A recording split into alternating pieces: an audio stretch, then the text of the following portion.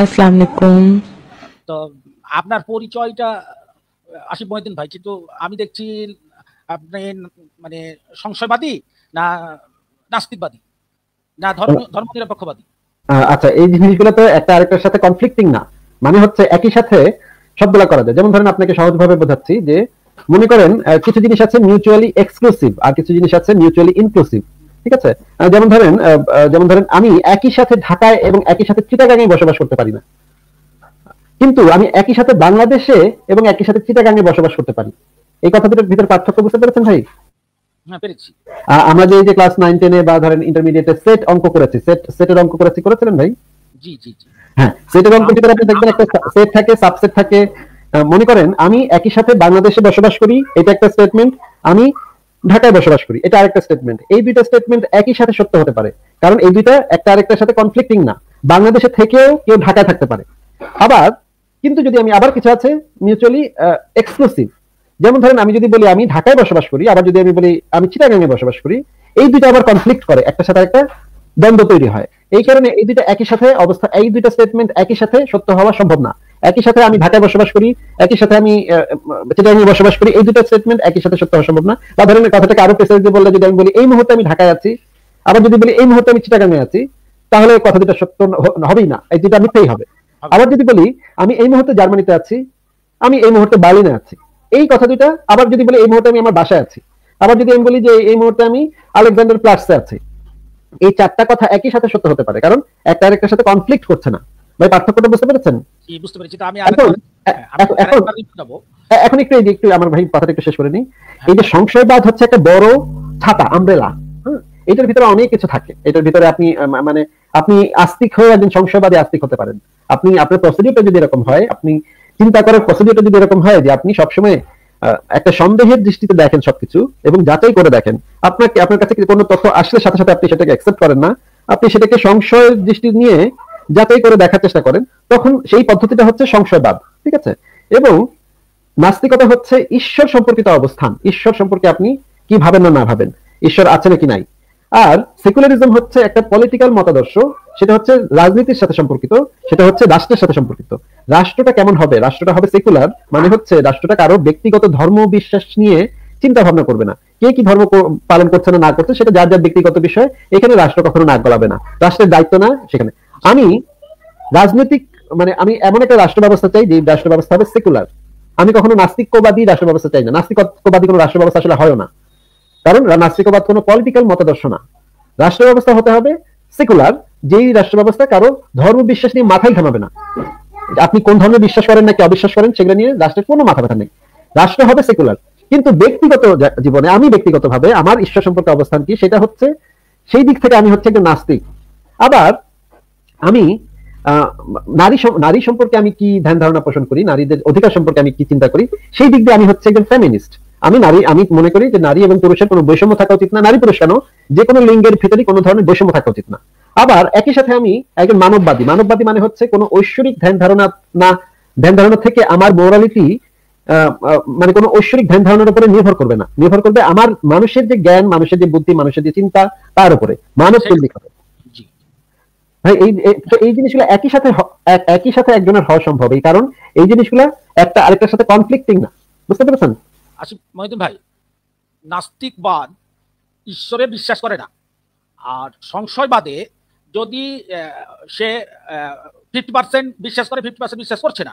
না না না না না না না না না এটা এটা না। না? না না সংশয়বাদ কখনো বলে নাই যে ফিফটি পার্সেন্ট বিশ্বাস করছি আর ফিফটি পার্সেন্ট বিশ্বাস করছি না। এরকম কোনো সংশয়বাদের ভিতরে এরকম কোনো নিয়ম নাই ভাই।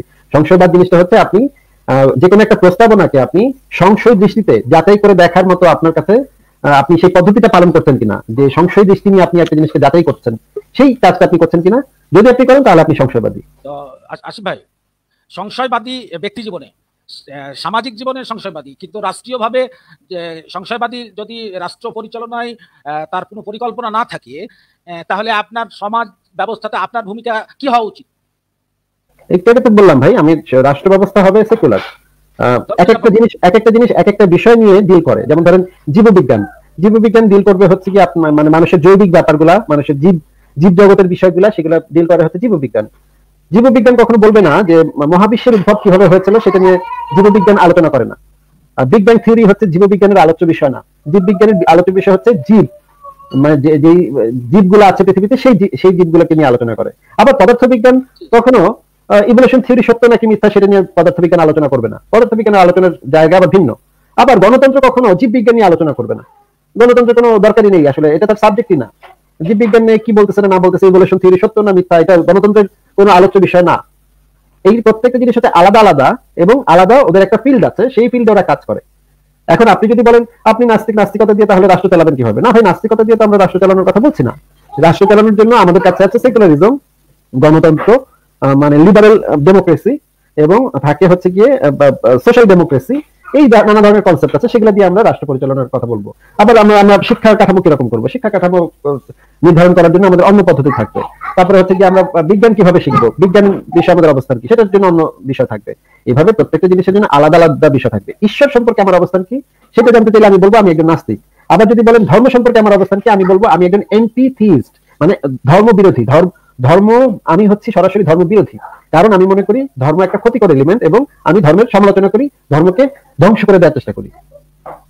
আশিফ ভাই আপনার ইয়াতে পরিচয়ে আমি সেক্সুয়ালিটিটা বুঝতে পারলাম না। মানে সেক্সুয়ালিটি মানে ভাই বুঝলাম না সেক্সুয়ালিটি বলতে মানে আপনি স্টেট না সমকামী এই ধরনের। এই- এইখানে এটা কেন মানে গুরুত্বপূর্ণ মনে হলো? আমি জানি যারা নাস্তিক বা যারা মুক্তমনা যারা খুব পছন্দ করে যে নিজেকে আমি সত্যভাবে উপস্থাপন করব সেখানে মানে গোপন করার কোনো কিছু থাকে না। বলেন গোপন কি করছি? আপনার কাছে কি মনে হচ্ছে যে আমি গোপন করছি? মানে আমি সেক্সুয়ালিটির কথাটাই বললাম যে ওইটা আহ, পাইলাম না। সেক্সুয়ালিটির কথা এখানে কেন আসতেছে? এখানে কেন গুরুত্বপূর্ণ হলো সেটা? প্রাসঙ্গিক হবে। যেমন আমি বলি যে আমাদের দেশে সমকামিতা বলা যায় না। কিন্তু আপনি যে দেশে অবস্থান করছেন ওখানে আপনি পরিচয় দিতে পারেন। আপনি পরিচয় হাইড করবেন এটা আপনার ব্যক্তিগত বিষয় অবশ্যই। আমি পরিচয় হাইড কেন করব? কথা বলছি। না না আমি পরিচয় হাইড কেন করব? আমি যদি সমকামী হই তাহলে আমি পরিচয় কেন হাইড করব? তো আপনি আমাকে আপনাকে আমি একটা প্রশ্ন করেছি। আমি যদি সমকামী হইও তাহলে আমি কেন হাইড করব? না তা- তা- তা- আপনার কথা তো সঠিক। যদি আপনি হন তাহলে তো হাইড করার দরকার নেই। আমি তো আমি তো গর্ব করে বলব যে হ্যাঁ আমি সমকামী। আমি যদি স্ট্রেট হই তাহলে বলব আমি না, straight। এটা- এটা ভালো। মানে আপনার কাছে কেন মনে হলো যে আমি গোপন করছি কিছু? না, মানে গোপন করছি এটা তাই? মানে দেওয়া নাই তাই আমি সংশয় প্রকাশ করলাম। না না একজন মানুষ যেটা হবে সেটাই তো সে হবে। সেখানে আবার আমি কেন কেন গোপন করতে যাব? এটা বুঝলাম না তো ভাই। আর আর তাছাড়া আপনার কি আপনার কি কোনো কারণে মনে হচ্ছে যে সমকামীদের অধিকারকে সমর্থন করা মানেই হচ্ছে সেই ব্যক্তিত্ব সমকামী। এটা কি আপনার মনে হয় ভাই? না এটা আমার মনে হয় না কারণ আপনার আহ, মুক্তমনা বা আমরা যারা স্বাধীন চিন্তা করতে জানি তারা আমরা প্রত্যেকটা ভালো জিনিসকে সাপোর্ট করব। হ্যাঁ কেউ যদি কোনোটা করতে চাই সেটা তার স্বাধীনতা থাকবে। আমি আপনার মানে কথায় দ্বিমত নই। তো এইটুকু বলি মানে মানে মানে আপনার কথা শুনে মনে হলো আপনি খুব একটা জিনিস একটা ধরে ফেলেছেন। না, আপনি তো- আপনার কথা থেকে তো ভাই আপনার সেক্সুয়াল সেক্সুয়ালিটি বোঝা গেল না আপনি তো আপনার সেক্সুয়ালিটি বললেন না। না ভাই আপনার কথা শুনে তো আমি তো সে ভাই ভাই, ভাই, আমরা তো বোকা না তো ভাই আমরা তো বোকা না তো ভাই আমি বলব? মানে খুব একটা খুব একটা ধরে ফেলার ভঙ্গিতে আপনি বলেন হ্যাঁ আপনার সেক্সুয়ালিটি আমি আমরা আলোচনা করছিলাম আস্তিক নাস্তিক নিয়ে আপনি চলে গেলেন সেক্সুয়ালিটি নিয়ে যেখানে আপনি এমন একটা ভান করলেন আপনি খুব বিজ্ঞান আমি প্রথমেই আপনাকে বলছি যে আমি আপনার সম্পর্কে একটু জানতে চাই। আমি দেখেন যে আমি কিন্তু বলেছি প্রথমেই। আমি এটা এটা আপনি শুরুতে খেয়াল করেন আমি এটা বলেছি। আর একটা বিষয় হলো যে এখান থেকে থেকেই যাক একটু আমরা আগাই সামনে। এখন আমাদের পৃথিবীতে যা কিছু ভালো তা যেমন এসেছে আপনার ধর্ম থেকে। ওয়াও থেকে নাকি? না না ধর্ম থেকে কি কি ভালো এসেছে সেটা আমাকে দুই চারটা বলেন দুই চারটা বলেন আমাকে। আহ, ধর্ম থেকে যেটা এসেছে সেটা হলো যে ব্যক্তি সামাজিক এবং রাষ্ট্রীয় যে শাসন ব্যবস্থায় আমরা যতটুকুই ভালো খারাপ থাকি না কেন এটা সেটা কি? ভালোটা কি? একটা উদাহরণ দেন। মানে ভালো আপনি আবারও বলতেছেন যে অনেক ভালো অনেক ভালো। ভাই কি এসছে ভাই? অনেক ভালো ব্যক্তি সমাজে অনেক ভালো আপনাকে আমি জিজ্ঞেস করলাম মনে করেন আপনাকে আমি জিজ্ঞেস করলাম যে ভাই যে এই শার্টটা এই শার্টের ভিতরে আপনি কি ভালো জিনিস পাইছেন? আপনি বলেন এই শার্টটা খুবই ভালো ভাই। তাই আমি জিজ্ঞেস করলাম যে ভাই ভালোটা কি পাইছেন? তাহলে আপনি বলেন এই যে রংটা খুব ভালো। তাই আমি বললাম যে ভাই ভালোটা কি? রংটা কেন ভালো? সেটা একটু এক্সপ্লেন করেন। আপনি বলেন না না বোতামটাও খুব ভালো ভাই। শার্টের মানে মানে ইয়াটা সুতাগুলো খুব ভালো। তো ভালোটা কি? সেটা তো আপনি বলবেন যে এটা কেন ভালো? কোন দিক দিয়ে ভালো? সেটা আপনাকে জিজ্ঞাসা করছি যে একটা উদাহরণ দেন দুই চারটা উদাহরণ দেন যে ধর্মের ভিতরে আপনি কি কি এই ভালো জিনিসগুলো পেয়েছেন তার দুই চারটা উদাহরণ দেন। আপনি একই কথা ঘুরে বললেন না যে ভাই ধর্মটা অনেক ভালো সমাজে অনেক ভালো রাষ্ট্রে অনেক ভালো। এটা আপনাকে জিজ্ঞাসা করিনি এটা তো দাবি হইল। সেই ভালোটা কি সেটা বলেন। ভালোটা হলো সামাজিক মূল্যবোধ হ্যাঁ নৈতিকতা চিন্তা ভাবনা আদর্শ। মানে